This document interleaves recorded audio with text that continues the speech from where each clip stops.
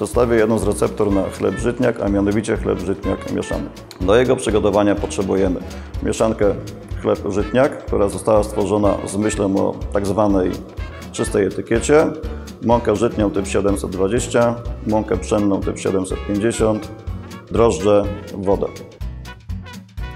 Wszystkie składniki umieszczamy w dzieży i miesimy. Czas miesienia wynosi 6 minut na wolnych obrotach i 4 minuty na szybkich obrotach.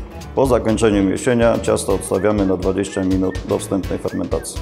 Następnie rozważamy ciasto na kęsce o wadze 750 g, zaokrąglamy, obtaczamy w mące żytniej i umieszczamy w formach kwadratowych o wymiarach 15-15 na 6 cm.